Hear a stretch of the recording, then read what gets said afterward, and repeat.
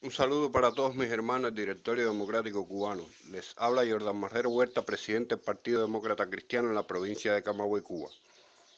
Hoy, 19 de mayo del 2020, siendo las 10 y media de la mañana, aquí en la ciudad de Camagüey, el, prisionero político Edirielsi Santana Jobo, activista de la Unión Patriótica de Cuba, se trasladaba de reparto Los Coquitos hacia la casa de sus padres para entregarle un triciclo, un visitaisi que, que el padre le había prestado. Y cuando pasa por la tienda, por la tienda del encanto, eh, le entra una llamada telefónica a su teléfono e inmediatamente eh, un grupo de uniformados de la llamada Policía Nacional Revolucionaria le partieron para arriba diciendo que él estaba grabando, cosa que es incierta.